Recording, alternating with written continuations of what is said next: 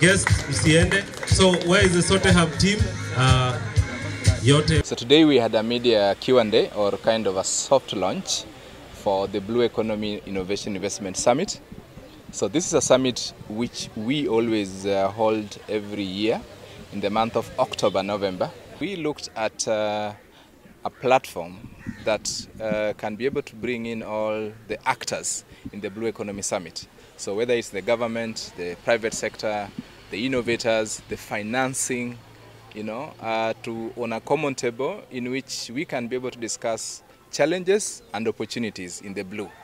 And so this is the main objective. And uh, for this year, for example, we are talking about three themes. We will be discussing aspect on climate, as climate change, we are aware, is a big global issue now, and also for us here. We'll be talking about access to capital.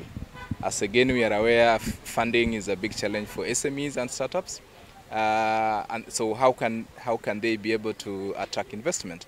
Innovation is usually done by the youth mainly. They are the ones who are curious, they're the ones who invent, they're the ones who create. So this is our platform for them. Uh, we are asking them to register in large numbers.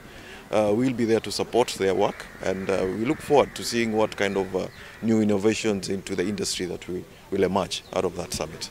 Sotehub is looking forward to assisting the youth and uh, in innovations, and we are together with them.